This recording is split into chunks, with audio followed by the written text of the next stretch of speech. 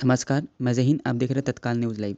Nagpur Reliance Smart Bazaar में चोरी करते पकड़ा गया परिवार पाँच गिरफ़्तार। वर्धा रोड के लैंडमार्क बिल्डिंग में स्थित रिलायंस स्मार्ट बाज़ार में चोरी करते एक परिवार के पाँच लोगों को रंगे हाथ पकड़ा गया। आरोपी छियानवे हज़ार सात सौ तीस रुपये का माल चोरी करके भागने की तैयारी में थे। पकड़े गए आरोपियों में धापेवाड़ा निवासी राजेश वसंतराव डोंगरे इकतालीस, शुभम विठलराव आमले छब्बीस, रजनी राजेश डोंगरे चालीस, विकास वसंतराव डोंगरे बत्तीस और राही विकास डोंगरे तीस का समावेश है। पाँचों रिलायंस स्मार्ट बाज़ार में खरीदारी करने गए थे। दो ट्रॉली में सभी ने अलग अलग सामान जमा किया। एक ट्रॉली में सस्ता सामान रखा गया, जबकि महँगा सामान दूसरी ट्रॉली में रखा गया। एक ट्रॉली के सामान का पेमेंट किया, जबकि चुपके से दूसरी ट्रॉली भी स्टोर के बाहर निकाल ली। आरोपी ने बाकायदा पार्किंग में जाकर अपनी कार में सामान उतार दिया। कुछ देर बाद फिर शॉपिंग करने स्टोर में चले गए।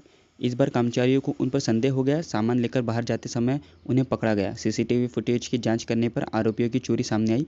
घटना की जानकारी पुलिस को दी गई। सीतामढ़ी पुलिस मौके पर पहुँची। पुलिस ने पाँचों के खिलाफ चोरी का मामला दर्ज कर सारा माल और दोपहिया वाहन जब्त कर लिए। मध्यम वर्ग परिवार के लोगों में लालच इतना हावी हो गया कि एक बार बचकर निकलने के बाद भी स्टोर में दोबारा चोरी करने गए।